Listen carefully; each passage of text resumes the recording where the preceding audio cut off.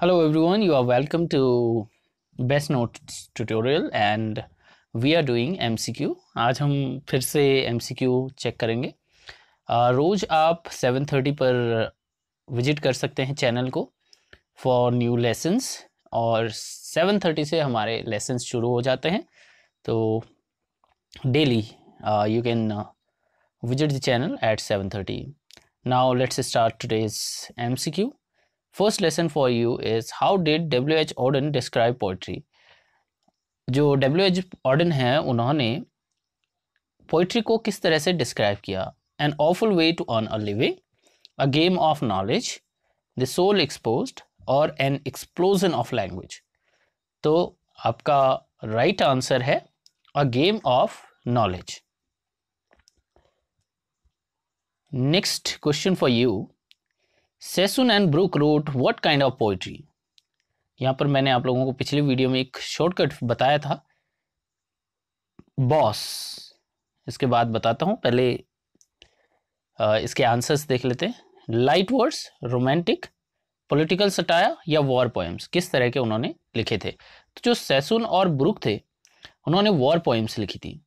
इसमें आपका क्या है? ब्रुक ओवन सेसन, सॉरी तो boss of war war of boss या बॉस ऑफ़ वॉर, इस तरह से आप याद कर सकते हैं। ये आपका शॉर्टकट है वॉर पॉइंट्स का। तो वॉर पॉइंट्स आपके फोर पॉइंट्स हैं।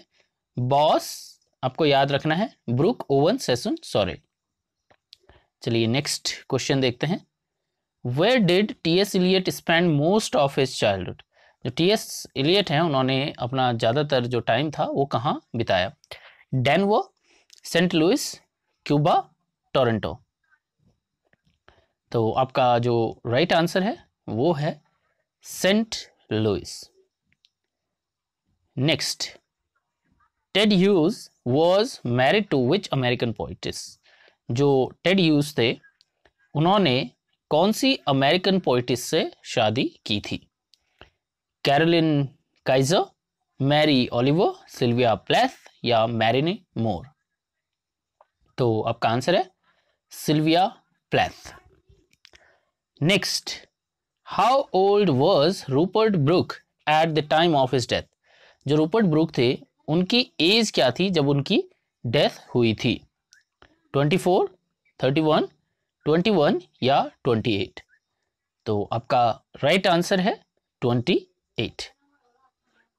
In what form did Dylan Thomas Thomas Under Milk Wood जो आपका अंडर मिल्क वुड है थॉमस डायलन डायलन थॉमस का फ़र्स्ट बिकेम नोन तो कौन सी फॉर्म उसे बोला गया?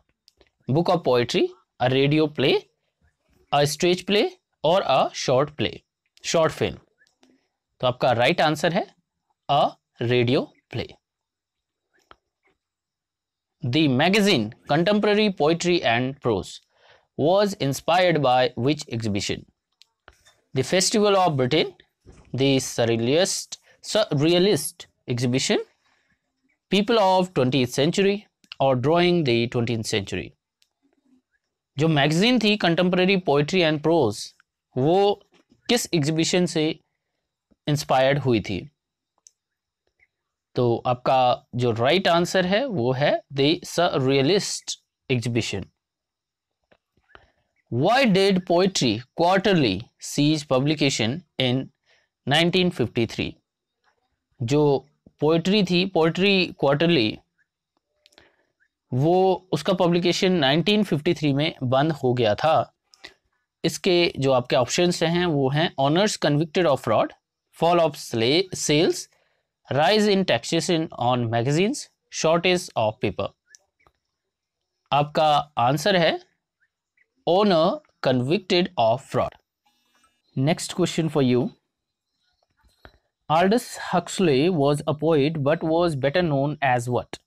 जो आल्डस हक्सले थे वो एक पोइट थे लेकिन वो और किस चीज़ में फ़ेमस थे पॉलिटिशियन थे ड्रामेटिस्ट थे नॉवलिस्ट थे या आर्किटेक्ट थे So your answer is novelist.